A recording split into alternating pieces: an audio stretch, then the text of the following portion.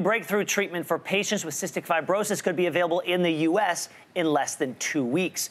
And for the 4,300 Canadians living with the fatal genetic disease, the, new, the news brings hope to a community where no cure exists.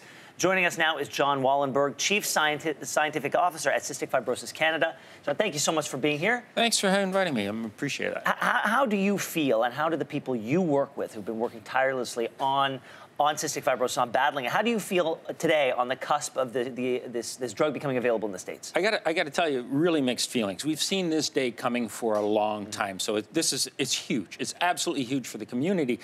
But it's a challenge in Canada because, I mean, this is the third generation of this type of drug, and we've sort of skipped right over. We haven't even gotten the second generation. But, I mean, in terms of progress, scientific and, and medically, this is fantastic. Okay, so, so let, let's talk about what exactly does this drug do for somebody suffering suffering with cystic fibrosis? So, well, you know, it's a genetic disease. Yeah. So the, the gene product of cystic fibrosis is something uh, uh, uh is something called the cystic fibrosis transmembrane conductance regulator. That's a mouthful. We CFTR.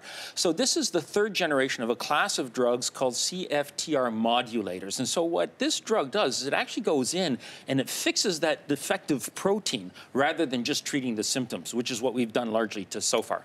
And uh, so let, us talk about lung capacity for, for, for yeah. People with yeah. cystic fibrosis. People uh, without cystic fibrosis, let's say they have 100% lung function. If you have CF, that can be as low as 40%. Um, and the average CF patient loses, and this was something that was surprised me, loses 2% of lung function per year. Um, how does this drug alter that math? So one of the things that this drug does in the clinical trials, and they looked at people whose lung capacity, like you said, was between 40% and 90%. And the average improvement in that lung function, which short-term test, was 14%. Like you say, if, yeah. the, if the average loss is 2, 2% per year, that's just a massive difference. And I got to say, this is also, it, it, it's a drug that, that that affects different people differently. differently. So there are some people who had much greater improvements mm -hmm. as well. Uh, clinical trials are being done in Canada right now, but there's no timeline as to when it's going to become available to, to people with CF in Canada. Why are the Americans on the cusp of approving this and Canada is lagging behind? Well, there's a couple of reasons. One, it's really up to the company as to where they submit it for regulatory okay. approval. Okay. So biggest um, market first, sort of thing. Biggest market first, and also, I mean, it's the biggest market, and it's also the market that pays the most. Yeah.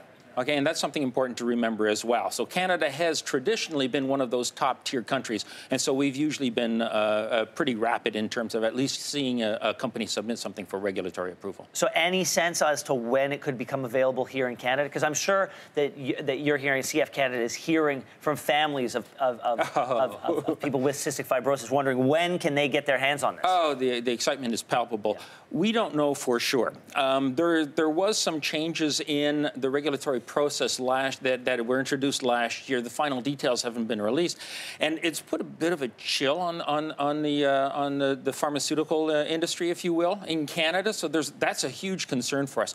We're actively uh, lobbying for the company to submit the drug as soon as possible. Get get on up here, submit it, and, we'll, and, and hopefully the doors will open as quickly as possible. Absolutely, and we're also helping Health Canada. One of the remarkable things about the approval in the United States was they used four different mechanisms for rapid approval of this drug, and we're hoping that Health Canada will do the same thing and give this a priority review. Fingers crossed, John. Thank you so much. It's a big day. Thanks, Ben. Appreciate it. Thanks for watching. If you like this, be sure to subscribe here. And you can check out more Your Morning videos right here.